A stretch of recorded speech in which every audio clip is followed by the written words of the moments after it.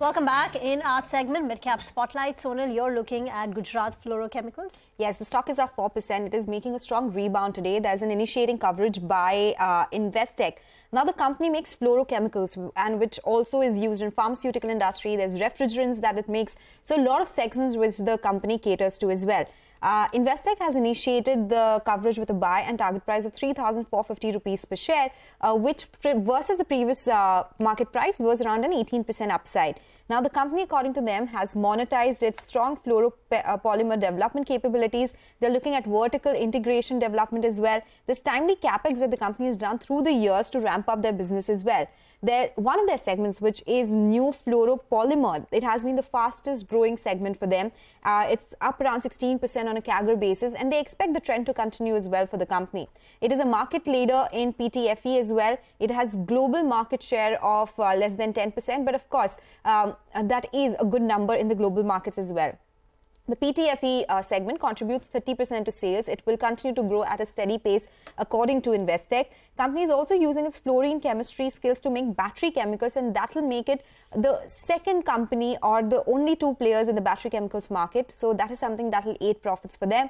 They are forecasting 26% EPS CAGR and that is actually lower than the consensus. So still um, they are conservative versus what the consensus estimates are, but they are bullish on the stock and on the back of that, along with the other chemical players, we are seeing a big up move in Gujarat Fluoro as well. Mm. Even agrochemical companies are doing well, right? Uh, is there again a brokerage note? There is actually. So there is uh, a note by uh, Antique, and they talk about channel checks suggesting that domestic industry has witnessed double-digit YY revenue growth from April to August, in which April to June were really weak quarter uh, was a really weak quarter.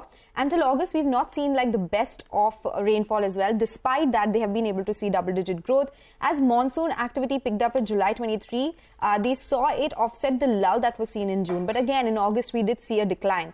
For export-oriented players, the slowdown is expected to continue in the near term prices in both the export and domestic markets they have actually settled down and showing signs of revival which is very important they believe the worst is largely over for domestic players and they expect bounce back in performance in second quarter itself they expect revival may take time in the export markets, possibly in second half of FY24 for export players. Um, so these are the two views that they have on the domestic and export markets. For UPL also there's a positive note by HSBC. Uh, so yes, looking good for them from that perspective because HSBC says that despite whatever they're seeing, there will be a recovery from third quarter and their balance sheet is not something that is stretched.